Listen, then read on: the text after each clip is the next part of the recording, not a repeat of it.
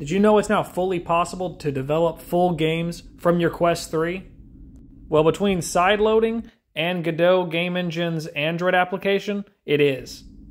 As you guys may have noticed from plenty of my other video content, I've delved pretty deep into the sideloading and uh, extra application features of the Quest 3. And this time isn't any different. I spent on the order of probably five hours in Godot on my Quest 3. But enough about that for now. Let's get into how to do it. So the first step, if you haven't done this already, is to get SideQuest.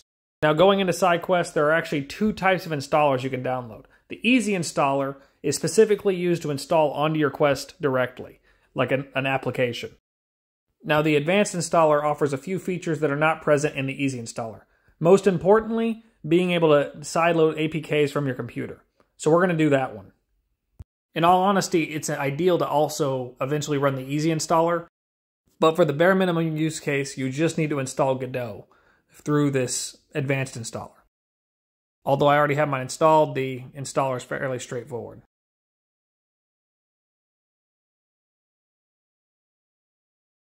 So inside SideQuest, you can see in the top left corner, there is a statement of not detected. You do have to do a couple steps to get your headset to connect to your SideQuest instance. Now there are instructions up here under this tab. Uh, it's pretty straightforward. First and foremost, you need to be on a dev account. So you have to go through the meta process of becoming a, a business corporation, like set up a developer account honestly, it's been long enough for me that you probably should just follow the tutorial inside Quest there. Now, once you do have a developer account, you can go in under the settings, and then developer settings, turn on developer mode. Now, I've seen mixed messages as to whether you need to reboot your headset or not, but it's a good practice. So next, you need to physically connect USB-C to your headset and the other end to your laptop or computer. And one of the final steps is to actually put on your headset and allow access to data and USB debugging. Once you do that, you can see up in the top left corner that it, my Quest is connected. Now you do need the Godot game engine, so go ahead and look up the Godot website, godot.org. Then under download, there are a couple different options. Of course, for your regular desktop OS, but further down, they actually have some other non-standard, including for Android. So you can see at the bottom, you just hit the check mark for Android, and there you go. They actually do let you download it from the Play Store, but in this situation, that's not applicable.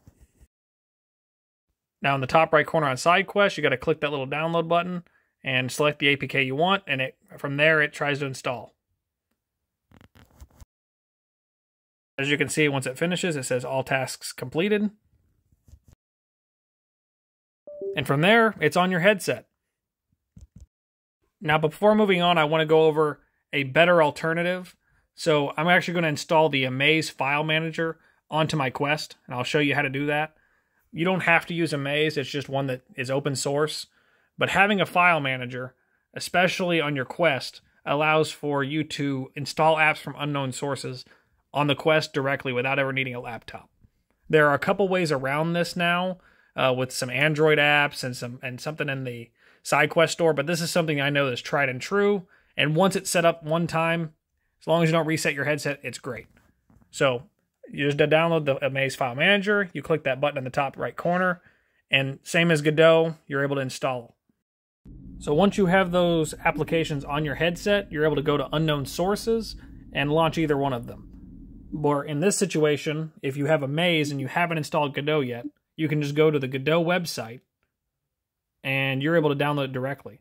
So you just go to Godot, Android, and here's the download link right here on the center of the page. So you don't have to go searching for it like on the PC. And the best part is the same goes for other applications you trust that are downloadable for Android, such as like Firefox, they host it as well as on their website, or in Telegram. In the past, I've showed people I've been using Telegram on my headset. I didn't actually install it for my computer, I used this method. The first time you do try to install an app through Amaze, it will ask if you want to install from unknown sources, and you select yes. But after that, it, it no longer prompts you.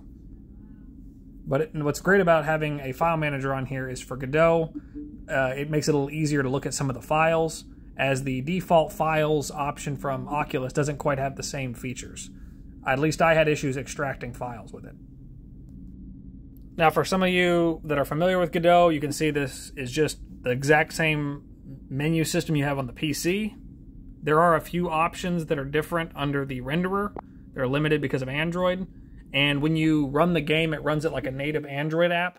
You can't export, at least to PC applications. I think there's a way to generate an APK, although it's limited in, in scope, so you really just can run your game within the engine as of this point. I'm just excited because this shows the productivity opportunity of the Quest headset. You don't have to have a laptop streaming to the Quest to do something like this. I definitely have done a little bit of development using my laptop streaming to my headset because it gives me multi-monitor support for Godot and you know the keyboard and mouse setup I'm used to. But using a Bluetooth keyboard and mouse with your headset like this is not a bad experience. It definitely shows some of the weak points of the Quest UI where they can improve, but it also shows the strengths that if these applications become more readily accessible without having to be in dev mode, there's a lot of power here. Anyway, I hope this was helpful. Thank you guys for watching. I'll see you guys next time.